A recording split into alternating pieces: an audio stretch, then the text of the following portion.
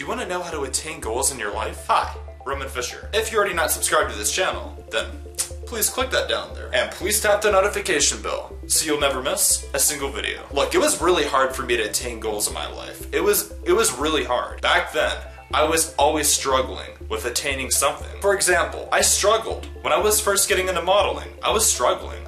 I didn't know how to do it. Like, I didn't know the business, even with acting, or with anything else for that matter. I just didn't know what I had to do. I didn't know what I had to do with it. I was always at a loss. I felt like I was always gonna lose. I was never gonna win. I was sick of losing. I was sick of being the loser. I was wanting to be the winner. I just didn't really know how to work the business. I have had the same problem with attaining goals, even outside of modeling and acting. It isn't just those two. But you know, it's thanks to these tips. They've really helped me. They've helped me attain my goals. And guess what? You're gonna be able to attain your goals as well after watching this video.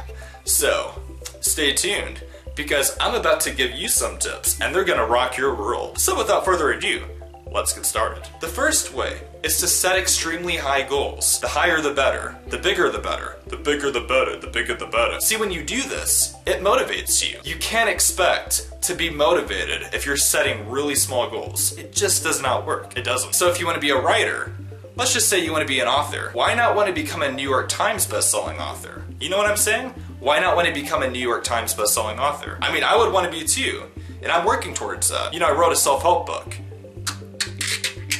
You can get it down there, by the way.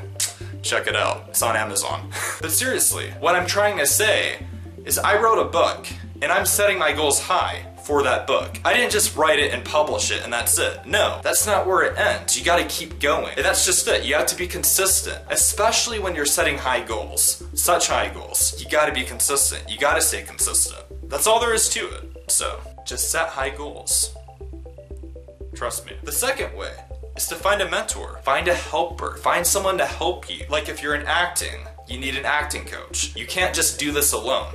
Find help whatever that is. Just find someone who's driven. Find someone who's really driven. But when you find that mentor, make sure that they're as driven as you are, if not more. When you find help, it shortens the learning curve. And this is no gimmick. It's facts, man. It's facts. Yeah! The third way is to reward yourself along your journey. It can't just be like this. I want to become the best author there is, and then I'll become it. No, you have to have incentives along the way. I mean, just thinking about the end result, that might motivate you enough, but it usually doesn't, at least not for most people. So if you're like the majority of people, you probably need incentives. You probably need things that motivate you. It's kind of like this. You're a kid, you do something right, and then your parents, they reward you for it. It's just like that. Just make sure to reward yourself.